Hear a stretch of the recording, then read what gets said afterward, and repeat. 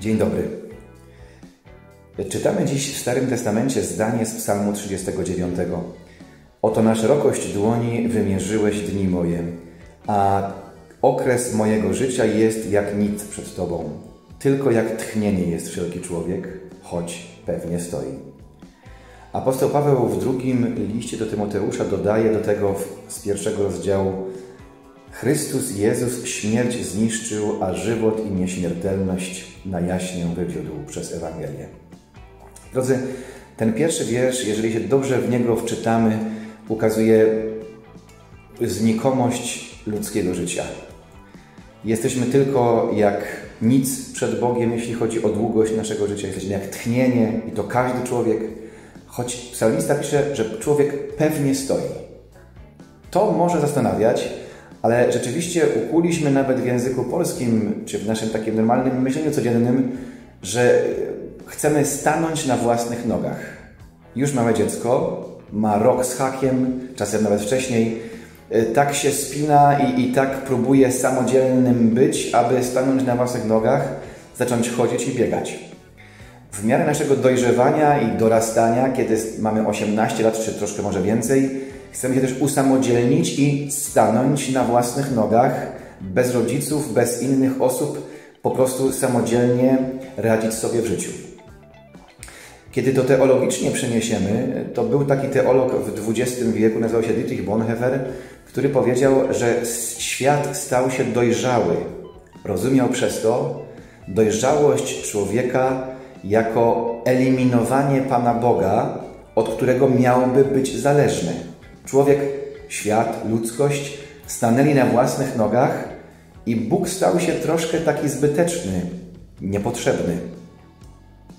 No właśnie. Rok 2020 z całą dobitnością pokazuje nam, jak bardzo kruche jest nasze życie.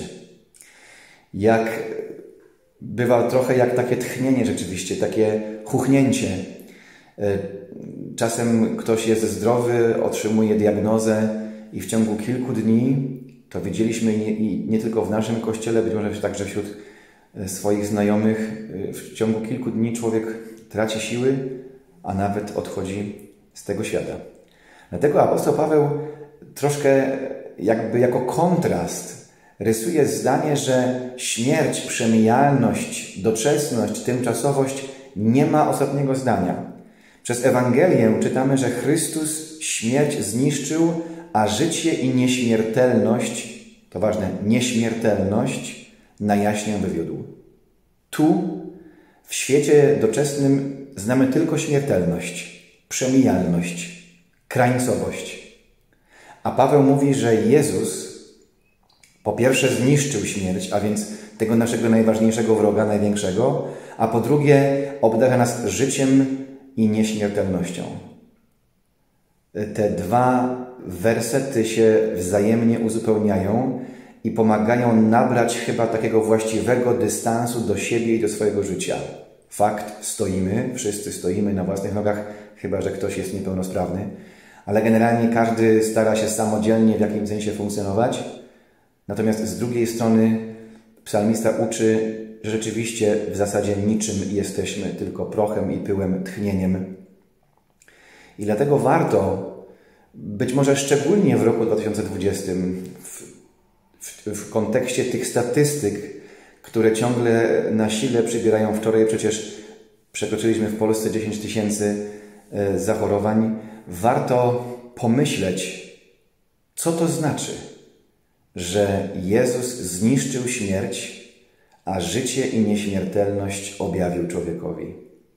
Żadna inna ludzka myśl, nauka ani filozofia i chyba też żadna inna religia nie wykraczają poza doczesność, bo to, co ludzkie, tu się kończy, a to, co boskie, nie tylko tutaj, ale również i w wieczności ma swój wielki sens. Życzę Wam dzisiaj dobrego czasu na przemyślenia o swojej znikomości i o nieśmiertelności, którą Chrystus dla nas zwyciężył na krzyżu Golgoty. Pomódlmy się. Panie Boże, oto uczysz nas tej trudnej prawdy, że choć stoimy i wydaje nam się, że mocni jesteśmy, tak naprawdę niewiele znaczymy. Wirus, który się rozprzestrzenia, daje nam to wyraźnie poznać. Dziękujemy Ci za to, że Ty i Twoja moc wykraczasz poza doczesność, że przygotowujesz nas na wieczność i do niej nas zapraszasz, bo w Chrystusie zniszczyłeś już śmierć, a życie i nieśmiertelność w nim zakwitło, wyszło na jaw, e, zaświeciło nad naszą ludzką, nad, naszą ziemią.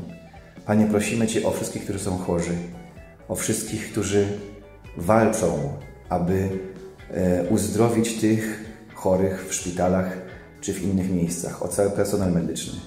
Prosimy Cię, Panie, zachowaj nas, nas, nas też w zdrowiu w dniu dzisiejszym i daj nam poznać Twoją wielką moc i Twoją wielką miłość i Twoją potęgę w kontraście do naszej słabości. Tobie w Trójcy Jedyny Boże niechaj będzie chwała i cześć w imieniu Pana Jezusa Chrystusa. Amen. Życzę Wam wszystkim, nam wszystkim dobrego i błogosławionego dnia. Z Panem Bogiem.